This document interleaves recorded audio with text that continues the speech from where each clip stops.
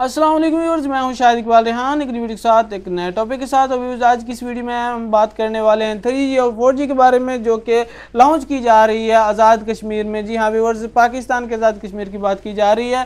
آزاد کشمیر میں، آزاد کشمیر میں three G اور فور جی سروسز کا آغاز کر دیا گیا ہے۔ اور اس کا باقاعدہ جو ہے، وہ تجربہ تیس مارچ کی رات کو کیا گیا۔ Sector commander S C O colonel Muhammad Maqbool Ahmed نے کہا ہے کہ ایس سی او نے آزاد کشمیر میں تھری جی اور فور جی سروسز کا تجربہ کر لیا اور بہت جلد ہی سروس کا باقاعدہ آغاز کر دیا جائے گا اور اس طرح ایس سی او کا عوام سے کیا ہوا وعدہ پورا ہونے والا ہے ایس سی او دنیا کے ان چند گنے چنے اداروں میں سے ایک ادارہ ہے جو کہ صارفین کو backward landline W L L D S L اور جی ایس ایم کی سہولت فراہم کرتا ہے۔ تیس مارچ کی رات ایس سی او نے اپنے پرانے نیٹ ورک سے تھری جی اور فور جی نیٹ ورک پر کامیاب منتقلی کی۔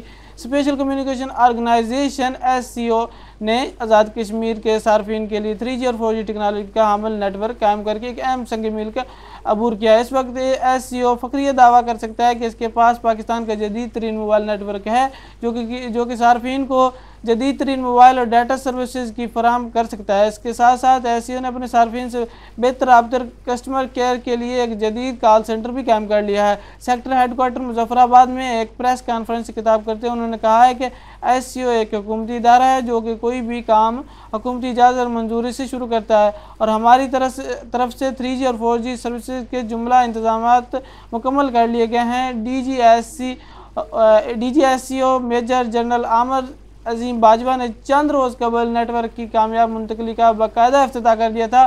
انہوں نے کہا ہے کہ آزاد کشمیر اور گلگت کے بلدستان کے دشوار گزار علاقوں میں اور یہاں کسی بھی ادارے کے لیے سروسز فراہم کرنا خاصا دشوار کام ہے دشوار گزار کام ہے، لیکن ایس سی او نے مشکلات، مشکل ترین حالات میں دشوار گزار علاقوں میں کامیابی کے ساتھ سروس فراہم کیا ہے۔ انہوں نے کہا کہ ایس سی او واحد نیٹ ورک ہے جس کے کوئی خفیہ چارجز نہیں ہیں اور آپ اپنا بیلنس، اپنی مرضی سے استعمال کرتے ہیں۔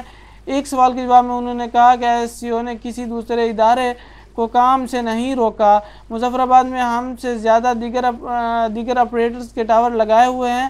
ہم انہیں ضرورت کے مطابق سہولیات مہیا کرتے ہیں۔ یہ ہماری زبانی باتیں اور بے بنیاد الزامات ہیں کہ ہم نے کسی اور کو ٹاور وغیرہ لگانے سے یا اپنا نیٹ ورک بنانے سے روکا ہے۔